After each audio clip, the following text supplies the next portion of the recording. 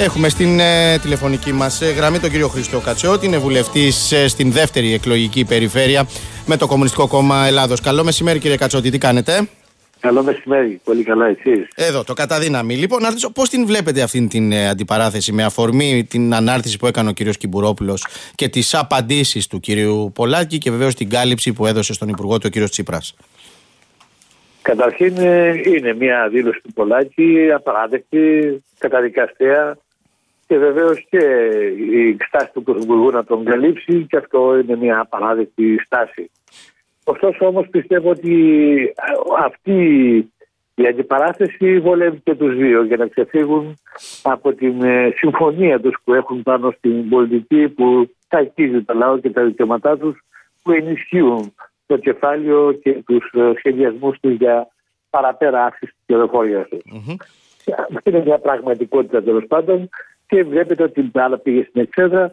Έχουμε αν πράγματι το πολλάκι είναι απτής, είναι ο χαρακτήρας του τέτοιος, αν η κυβέρνηση συνολικά ε, έχει μια τέτοια ε, στάση απέναντι ε, στα αμαία ή ξέρω εγώ απέναντι στον κόσμο και δεν συζητούμε για τα κύρια προβλήματα που υπάρχουν σήμερα, την ανεργία, τη φτώχεια, την εξαθλίωση, την ληστεία του λέω από τους χώρους ε, και μια σειρά άλλα ζητήματα που αφορούν συνολικά την πλειοψηφία του λόγου. Ουσιαστικά αυτό που λέτε κύριε Κατσότη το λέει με άλλα λόγια και ο ΣΥΡΙΖΑ προς τη Νέα Δημοκρατία. Ότι βρήκε αφορμή από τις δηλώσεις ε, Πολάκη για να αλλάξει την ατζέντα.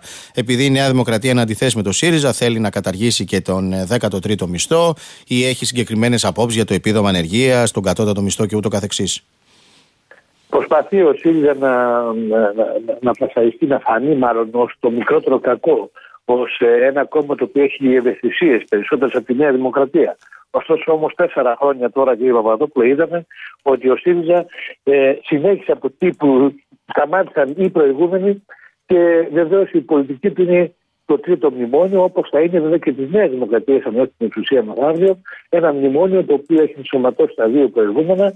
Ένα μνημόνιο το οποίο, ε, αν θέλετε, τακίζει συνολικά τους, ιδιαίτερα τους εργαζόμενους, τους απασχολούμενους, τη φτωχή αγροτιά και βεβαίως ε, δημιουργεί τα μεγάλα αντιέξοδα για τους νέους ε, στη χώρα μας, για τις γυναίκες, μέσα από αυτές τις ανατροπές, τις αναδιαρθρώσει όπως τις λένε, ή τις μεταρρυθμίσεις όπως τις παρουσιαζουν Ε, αυτή είναι η πολιτική του ΣΥΡΙΖΑ, δεν διαφέρει και εξάλλου σε κάθε ε, ε, ε νομοσχέδιο τέλος πάντων ε, ψηφίζουν μαζί. Η Νέα Δημοκρατία του λέει ότι ε, έρχεστε στην πολιτική μας, καλώ ορίσατε. Ψηφίζουν συνέχεια πολλές ρυθμίσεις μαζί, όπως και προχθές ε, νομοσχέδια με χώρα απαλλαγέ απέναντι στους ε, εφοπλιστές.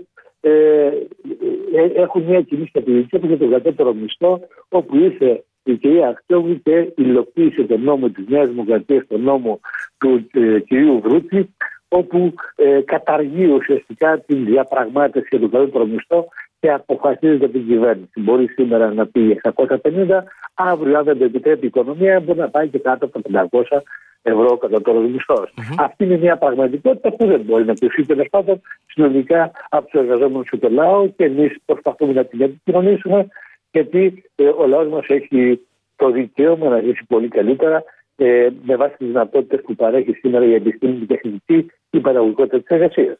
Βλέπω το πρωτοσέλιδο του Ριζοσπάστη που λέει ξεζούμισμα των πολλών για τα κέρδη των λίγων, με αφορμή και τα πλεονάσματα, τα ματωμένα όπως εσείς τα χαρακτηρίζετε.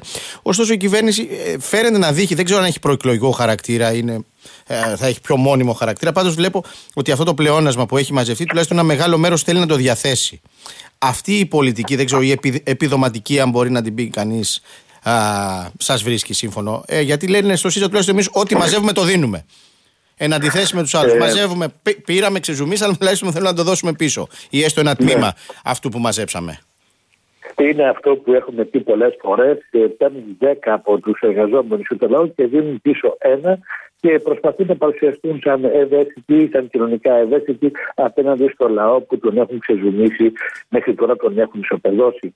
Εμείς δεν ε, λέμε όχι σε οτιδήποτε παίρνει ο λαός, αλλά πέρα από εκεί όμως αυτό που λέμε είναι ότι ο ΣΥΡΙΖΑ σήμερα επιμένει ε, ε, στη μονιμοποίηση όλων ε, των ανατροπών που έγιναν μέχρι σήμερα σε βάρος των εργαζόμενων και του λαού για δεύτερη κοινωνική ασφάλιση. Επιμένει λοιπόν σε αυτή τη γραμμή, γιατί είναι και γραμμή της Ευρωπαϊκής Ένωσης. Και επειδή έχουμε μπροστά ευρωεκλογές. Η Ευρωπαϊκή Ένωση προωθεί λοιπόν μια τέτοια πολιτική σε βάρος ε, του ασφαλιστικού συστήματος, όπω το πανευρωπαϊκό ατομικό στεξιωτικό προϊόν που βέβαια αυτό είναι σαν το ασφαλιστικό του Πινοσέτ, η στιγμιωστή όπως λέμε εμείς σαν ΚΚΕ. Επιμένει σε αυτή την πολιτική, επιμένει στο να μην επαναφέρει τις λογικές συμβάσεις εργασίας. Έχει απορρίψει όλες τις προτάσεις νόμου του ΚΚΕ. Άρα λοιπόν αυτή η πολιτική του που λέει ότι μοιράζω τα πλεονάσματα θα μοιράζει βεβαίως στου επιχειρηματικούς ομίλους. Δίνει περισσότερα θα δώσει τώρα για τις νατοικέ δαπάνες.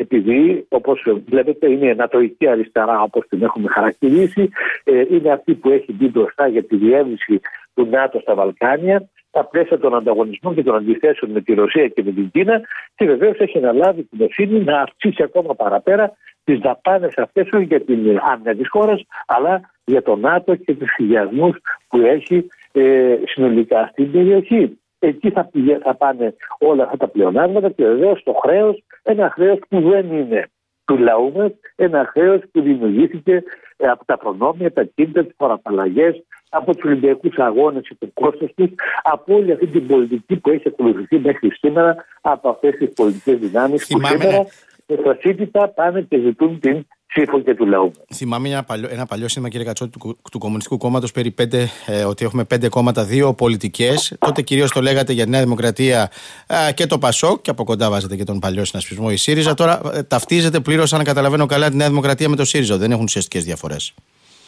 Κοιτάξτε, δύο είναι οι δρόμοι μπροστά μας. Αυτό είναι γνωστό. Ο δρόμος ο ένας είναι αυτός που υπηρετεί το κεφάλαιο και τις ανάγκες του, και ο άλλος δρόμος είναι αυτός που υπηρετεί τους εργαζόμενου και τι δικέ του ανάγκε. Και έχουμε σήμερα ε, πολλά κόμματα ε, και δύο πολιτικές όπως το λέμε. Ε, είναι τα κόμματα του κεφαλαίου που όλοι αγωνιούν, ανησυχούν πώς θα δημιουργήσουν αυτό το περιβάλλον και την αυξημένη κερδοφορία του μεγάλου κεφαλαίου ενώ το ΚΚΕ έχει πάρει μια σαφή θέση, είναι με την εργατική τάξη ε, και υπερασπίζεται ε, με κάθε τρόπο, με την προσπάθεια της οργάνωσης πάλι μέσα στους χώρους δουλειάς και στους κλάδους των δικών τους δικαιωμάτων. Είναι δύο πράγματι δύο πολιτικές που συγκρούονται σήμερα. Μια πολιτική με την Ευρωπαϊκή Ένωση, με το συλλογικό εκφραστή του μεγάλου κεφαλαίου, η οποία θα γίνεται όλο και χειρότερη, και μια πολιτική η οποία, αν θέλετε, και σήμερα το 74% του λαού μας είναι αντίθετη με την Ευρωπαϊκή Ένωση και εμείς απευθυνόμαστε σε αυτούς και τους λέμε ότι υπάρχει ένας άλλος δρόμος που μπορεί πράγματι μέσα από αυτό να επενδυθούν τα δικά του συμφέροντα, να υπάρχει μια ανάπτυξη πράγματι προς όφελος του λαού μας και προς όφελος του μεγάλου κεφαλαίου. Σας ευχαριστώ πολύ κύριε Κατσότη για τη συνομιλία. Να είστε καλά και εγώ ευχαριστώ. Καλή δύναμη.